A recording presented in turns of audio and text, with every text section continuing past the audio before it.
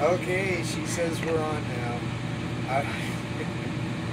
We're obviously st- still in our trailer. Arrow's going to be the Sabbath School kitty today, at least as long as she'll stay. Uh, Flash, our usual Sabbath School kitty, is uh, back on the bunk back there. This is going to be the second time we've done this today. Hmm?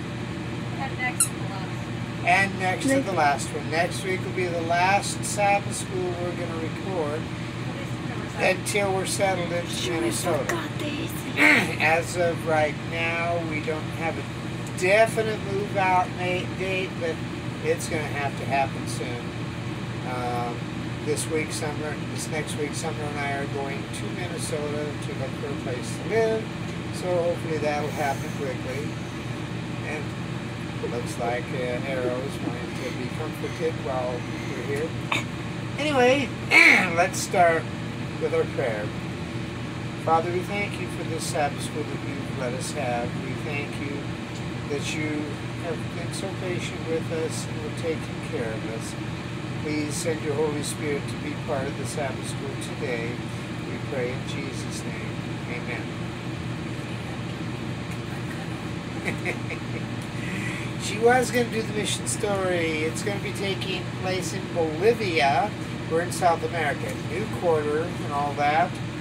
Uh, let me see if I can get this close enough so they can see this. Um, are you able to see it now? Bolivia is right here. So here's South America, Brazil, Peru, and Bolivia. So Bolivia is where this story takes place.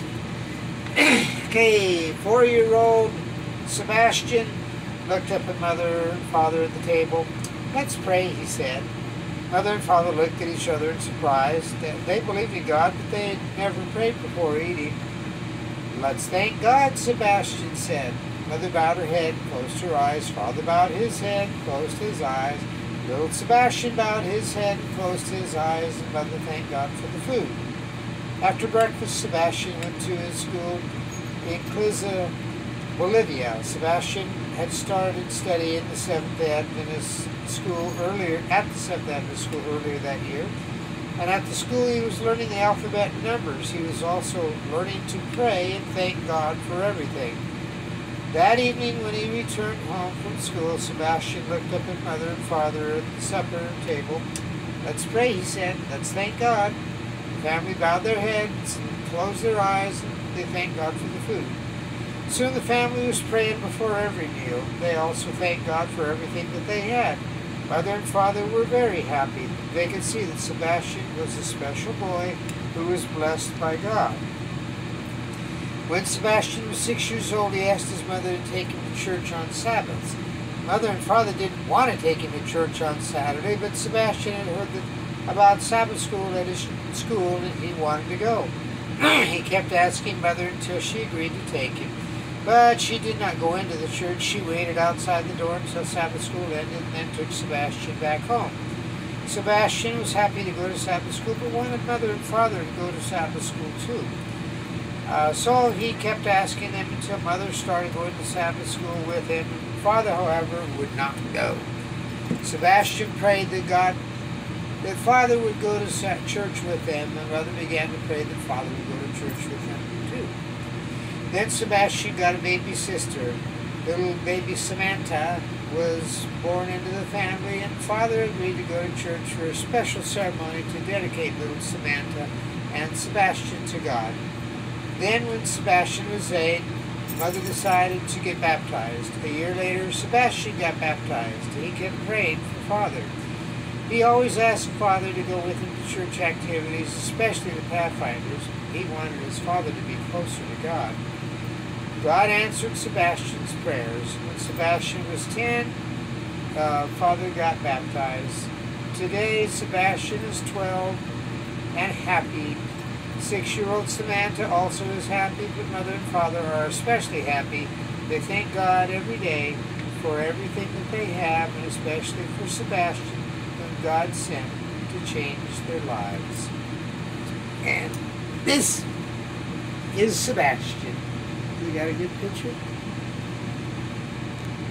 Hold on. No. Yeah, there we go. Okay. All right. And hi, Winky. so, the first, Hi, Ricky. make you remember he's the one-eyed cat, doesn't have a right eye. Anyway, um, you want to take care of the issue down there. The, the cats are not behaving properly sometimes. Get on my sometimes. other side. Could you come around? Oh. Anyway, this is our second time doing this because the first time we had a problem with video, which seems like maybe we're going to have another problem since our cameraman up there is having her issues with her cat. Anyway, wasn't doing it with my phone. just to remind you of what happened before, how David had um, ended up in a cave with all his men, and it's the same cave that uh, Saul came into, not knowing that they were there. David cut off part of the hem of his robe and showed it to him later. You know, I could have killed you. My en- my men urged me to kill you, but you're God's anointed king, and I will not touch you.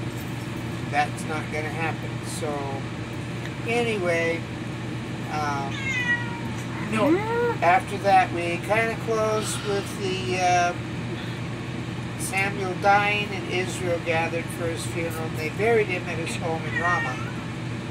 And David moved south to the wilderness of Maon, which is really south of the Dead Sea, kind of an area that is very wilderness, very deserty, and um, I'm I'm hoping that it's more desert and more barren today than it was back then because uh, he ends up near the town of Carmel, where there was a wealthy man living there, and uh, he had three thousand sheep, a thousand goats, and his it was sheep shearing time. Now, the land as it looks right now would not support that many animals, so it had to have been a little less barren than it is today because today it's very barren. I've seen uh, videos from that area and it's really, there's nothing there but rocks and dirt and sand. So he ends up there and then she, by sheep shearing time, this man, his name is Nabal and his wife is Abigail. We are in 1 Samuel 25, 20, yeah, 25 by the way. So if you're following along, sorry I forgot to remind you to get your Bibles. But uh, go ahead, if you haven't already, get your Bibles so you can follow along. We're in 1 Samuel 25. And we're going to be down in um, verse. Shoot, I gotta get my new glasses. Three. this man's name was Nabal, and his wife Abigail was a sensible and beautiful woman. Nabal, a descendant of Caleb, was crude and mean in all his dealings. Now, Caleb, we know, was not cruel or mean. Caleb was one of the twelve uh, spies that Moses sent out, and he and Joshua were the only ones who came back saying, "Let's go, we can whoop these guys." Uh, when you look back at what the others said, they said, "No, we're too little. They're giants. We're going to die if we try. We need to go back to Egypt." A bunch of wimps. They didn't trust their God. Caleb did. And well, he happens to be a descendant of Caleb, which is very unfortunate because you're going to find out he's a not very nice guy. When David heard that Nabal was shearing his sheep, you know, he he was a shepherd. He knows the process. You watch over them all this time, take care of them. Their wool grows out. You take them back to the barn. You shear them, cut all this wool off, and then you celebrate. You have a big party, a big dinner, whatever you want to call it. And so he sent ten of his young men to Carmel with this message for Nabal. Peace and prosperity to you, your family, and everything you own. I am told that it is sheep shearing time. While your shepherds stayed among us near Carmel, we never harmed them and nothing was ever stolen from them. Ask your own men and they will tell you this is true. So, would you be kind to us since we have come at a time of celebration? Please share any provisions you might have on hand with us and with your friend David. David's young men gave this message to Nabal in David's name, and they waited for a reply. Who is this fellow David? Nabal sneered at the young men, which he's just being mean and cruel because everybody knew about David and about Saul. So, this, who does this son of Jesse think he is? There are lots of servants these days who run away from their masters. Should I take my bread and water and my meat that I've slaughtered for my shears and give it to a band of outlaws who come from who knows where? So David's young men returned and told him what Nabal had said. Get your swords, was David's reply, so he strapped on his own. You remember what his sword was? When he was fleeing from Saul right away, he got from the high priest the sword that had been Goliath's sword. I'm sure it was a little big for him, but he had said at the time there's nothing like this, so this was his sword. Then 400 men started off with David, and 200 remained behind to guard their equipment. You know, you got enough stuff for all these 600 men. You've got to have a lot of stuff, and you've got to take care of it, especially out there in the wilderness, because you've got a lot of thieves running around try to steal that stuff if they could. Meanwhile, one of Nabal's servants went to Abigail and told her, David sent messengers from the wilderness to greet our master, but he screamed insults at them. These men have been very good to us, and we never suffered any harm from them. Nothing was stolen from us the whole time they were with us. In fact, day and night they were like a wall of protection to us and the sheep. You need to know this and figure out what to do, for there's going to be trouble for your master and his whole family. He is so ill-tempered, no one can even talk to him. Well, in verse 18, you find Abigail wasted no time. She quickly gathered 200 loaves of bread, two wineskins full of wine, five sheep that had been slaughtered, nearly a bushel of roasted grain, and 100 clusters of raisins, and 200 fig cakes. She packed them on donkeys and said to her servants, Go on ahead, I'll follow you shortly. But she didn't tell her husband Nabal what she was doing. As she was riding her donkey into a mountain ravine, kind of like a little valley between a couple of large hills there, she saw David and his men coming toward her. David was ju had just been saying, a lot of good it did to help this fellow. We protected his flock in the wilderness, and nothing he owned was lost or stolen. But he has repaid me evil for good. May God strike me and kill me if even one man in his household is still alive tomorrow morning. Boy, that's that's pretty serious stuff obviously he's like uh, I would have been, I think, uh, angry about what this guy has done, and he's not going to settle for just, well, that's too bad. It would have been nice if he'd have helped us. He's gone out there, and he, you know, I've got these warriors with me. When Abigail saw David, she quickly got off her donkey and bowed low before him. I'm sure she got down on her knees fell face down. She fell at his feet and said, I accept all blame in this matter, my lord. Please listen to what I have to say. I know Nabal is wicked and ill-tempered man. Please don't pay any attention to him. He's a fool, just as his name suggests. And when you look at it, you find out that the name Nabal means fool. But I never even saw the young men you sent. In other words, they went to the wrong person. They should have come to me instead of to Nabal.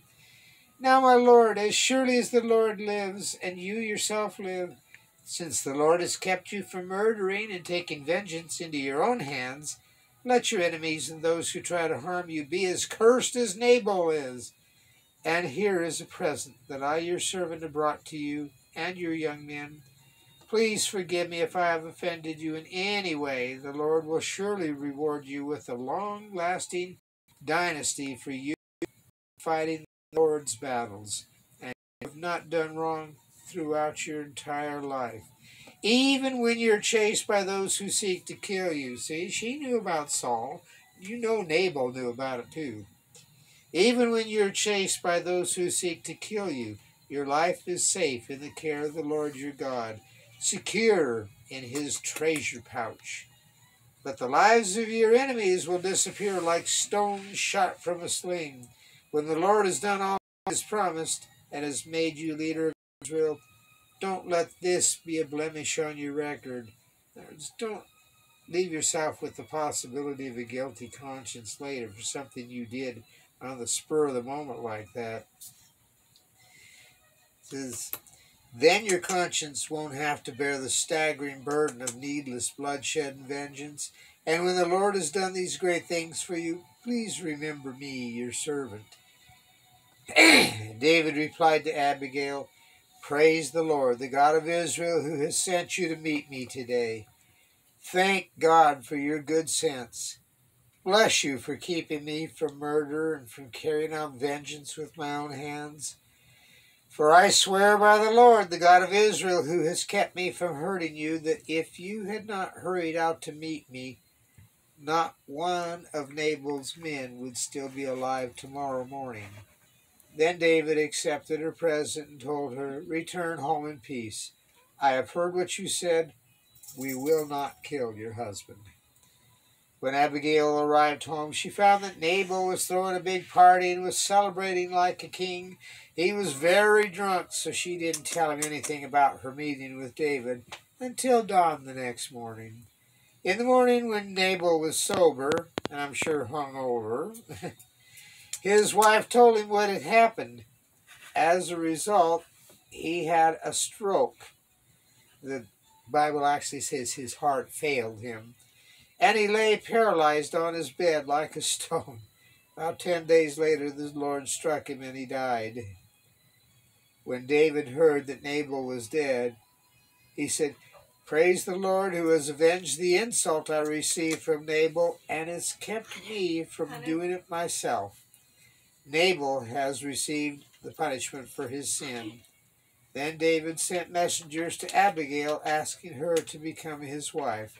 When the messengers arrived at Carmel, they told Abigail, David has sent us to take you back to marry him. She bowed low to the ground and responded, I, your servant, would be happy to marry David. I would even be willing to become a slave, washing the feet of his servants. Quickly getting ready, she took along five of her servant girls as attendants, mounted on her donkey, and went with David's messengers. And so she became his wife. David also married Ahinoam from Jezreel, making both of them his wives. I remember, he did have a wife, so here it mentions her. Saul, meanwhile, had given his daughter Michal, David's wife, to a man from Gallim named Palti, son of Laish. Figured out David's gone, I'm going to try to kill him anyway, so you might as well marry somebody else. Ah. How much time? Uh, we just hit 19 minutes. We just hit 19 minutes. Well, I can do kind of an abbreviated version of the next chapter, I think. Um, it just barely has enough time. So, in the next chapter, in chapter 26, David spares Saul again. What's happening is um, men from Ziph, you know, go tell Saul, David's hiding in the hill of Hachilah, uh, which overlooks Jeshimon. Well, so Saul takes 3,000 elite troops with him. He goes down there and he's camped along the road beside the hill of Hachilah near Jeshim, Jeshimon, where David was hiding. when David learned that Saul had come after him in the wilderness, he sent out spies to verify the report of uh, Saul's arrival. And he was there all right. David slipped over to Saul's camp one night to look around. Saul and Abner, son of Ner, the commander of his army, were sleeping inside of a ring formed by slumbering warriors. And Abner, the commander of his army, was actually a first cousin. His father was uh, Kish, and Abner's father was Ner. Kish and Ner were brothers. So David goes back and he says, Who will volunteer to go in there with me? David asked Ahimelech the Hittite and Abishai, son of Zeruiah, Joab's brother. I'll go with you, Abishai replied. so David and Abishai went right into Saul's camp and found him asleep with his spear stuck in the ground beside his head. Abner and the soldiers were lying asleep around him. Oh, God has surely handed your enemy over to you, Abishai whispered to David. Let me pin him to the ground with one, one thrust of the spear. I won't need to strike twice. I'm sure he wouldn't either. No, David said, don't kill him. For who can remain innocent after attacking the Lord's anointed one? Surely the Lord will strike Saul down some day, or he'll die of old age, or he'll die in battle. The Lord forbid that I should kill the one who is anointed. But take his spear and that water jug beside his head, then let's get out of here. So David took the spear and the jug of water that were near Saul's head. Then he and Abishai got away without anyone seeing them or even waking up because the Lord had put Saul's men into a deep sleep. That's impressive. David climbed the hill opposite the camp. You can see God's taking care of him until he's at a safe distance. Then he shouted down to the soldiers and to Abner, son of Ner, Wake up, Abner! who is it? Abner demanded. Well, Abner, you're a great man, aren't you? David taunted. Where in all Israel is there anyone so mighty? So why haven't you guarded your master, the king, when someone came to kill him? Eh, this isn't good at all. I swear by the Lord that you and your men deserve to die, because you failed to protect your master, the Lord's anointed. Look around. Where are the king's spear and jug of water that were beside his head? Saul recognized David's voice and called out, Is that you, my son David? David replied, Yes, my lord the king. Why are you chasing me? What have I done? What is my crime? But now let my lord the king listen to his servant. If the Lord has stirred you up against me, then let him accept my offering. But if this is simply a human scheme, then may those involved be cursed by the Lord, for they have driven me from my home, so I can no longer live among the Lord's people, and they have said, Go worship pagan gods. Must I die on foreign soil, far from the presence of the Lord? Why has the king of Israel come out to search for a single flea? Why does he hunt me like a partridge on the mountains? Then Saul confessed, I have sinned I think I've heard this story before. Come back home, my son. I will no longer try to harm you, for you valued my life today. I've been a fool and very, very wrong. Oh, yeah, right. Come on home. Everything will be fine, David. No problem. Here's your... Excuse me. Here's your spear, O king, David replied. Let one of your young men come over and get it. The Lord gives his own reward for doing good and for being loyal, and I refuse to kill you, even when the Lord placed you in my power. For you are the Lord's anointed. Now may the Lord value my life, even as I have valued yours today. May he rescue me from all my troubles.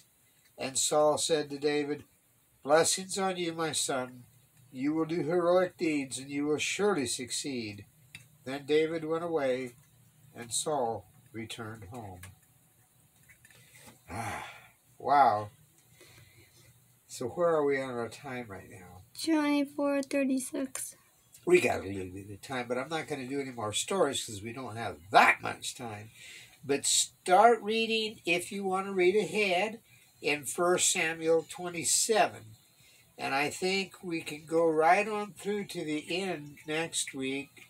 Mm, Hopefully. Close to it anyway.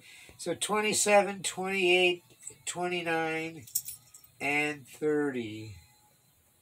So these are what's coming up ahead for us. Anyway, just to remind you, there will be no, after next Sabbath, there will be no more Sabbath schools for a while. I will let you know. I will send a message to Ariane, Aliana, and Audrey's mom.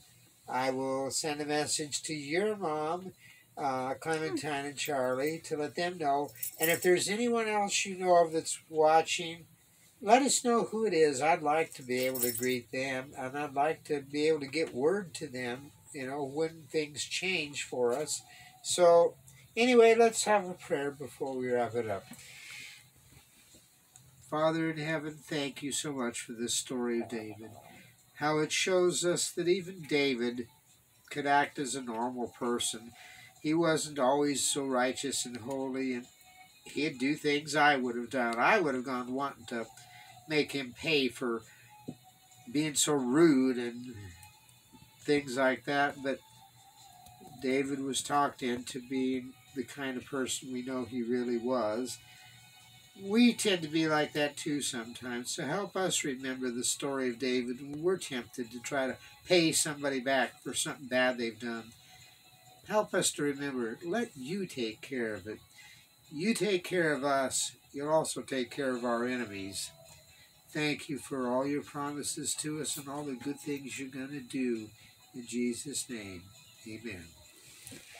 Okay, see you next week. Bye bye.